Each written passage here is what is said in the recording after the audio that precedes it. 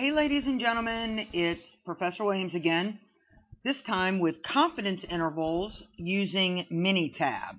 So let's get started and see what we've got. All right, so hopefully you will remember from at some point that a confidence interval is the area within the curve where we believe that the true population parameter will fall.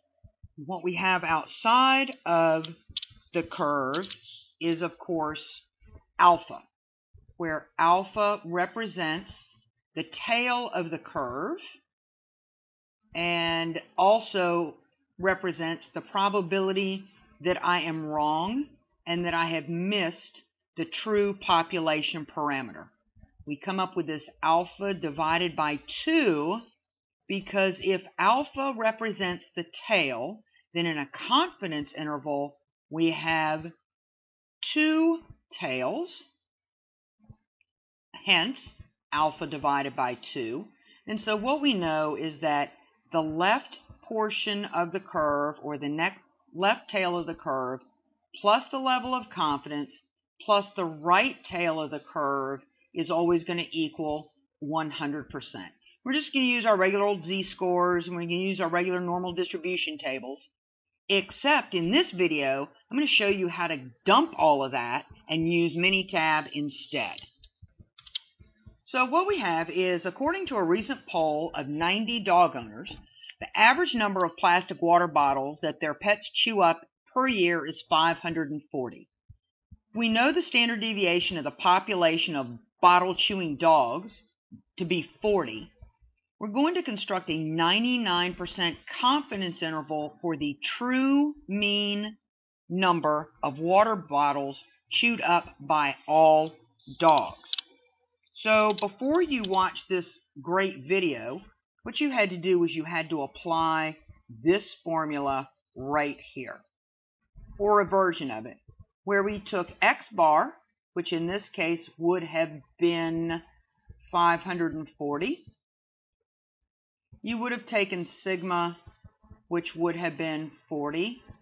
We would have taken the square root of n, which would have been 90, and we would have found our value for z alpha divided by 2 of 1.96, and then done all this math, and we'd have added things up, and but not this time.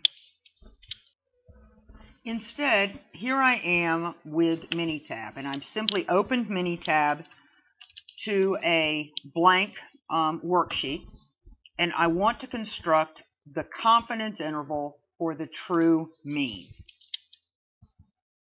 So I'm going to come up here to stat, and I want basic statistics. And what I know is that I have a one sample Z test. How do I know I have a one sample Z test? A, I only sampled those 90 people coming out of PetSmart or wherever they were. And I know I have a Z because you were given the population standard deviation. So I'm going to click on one sample Z and I'm going to get this great dialog box. I have summarized data, which means the sample size, the mean, the standard deviation have already been calculated for me. So I knew my sample size was 90.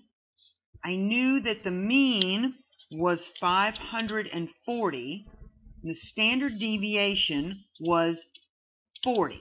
So that's all fine and well, except there's no button to really click for this confidence interval. I need to come down here to options. Options is going to open a second box and it's going to ask me for the confidence level. Ignore this alternative right here for now because that's when we hypothesis test. I'm just doing confidence intervals. Type in in this case, we wanted a 99%. Put it in as 99.0 and say okay. If I wanted to do a, in this case, a 95%, 95.0, hit OK. So in options, you change the level of confidence.